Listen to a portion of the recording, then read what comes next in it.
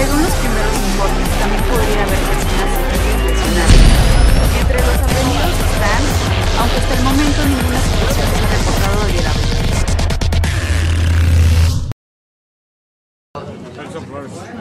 Entre paréntesis, ayer vi a tu sobrina. ¿eh? A nombre del Grupo Solmol, agradecemos a todos ustedes su presencia. Y el ingeniero Fernando Miranda Blanco. Continuación, el licenciado Miguel Ángel de la Garza. Hoy por hoy, yo quiero compartirles que no se han equivocado las personas en que le apuestan a Hermosillo, en que ven en Hermosillo un lugar que tiene precisamente eso, que tiene un gran potencial en cuanto a su sustentabilidad.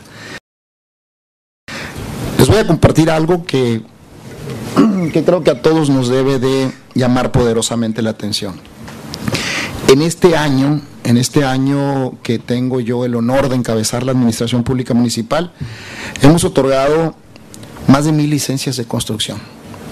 Eso habla del potencial. Ahorita les voy a platicar algunas razones.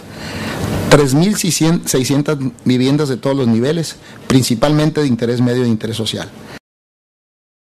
Con una inversión total conjunta superior a los 800 millones de pesos, será construido en esta ciudad el centro comercial Son Mole Hermosillo, un desarrollo con éxito probado en el área metropolitana de Monterrey.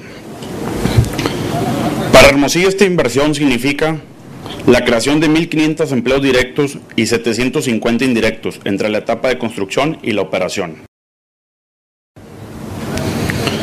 El nuevo centro comercial y de entretenimiento contará con 162 unidades comerciales.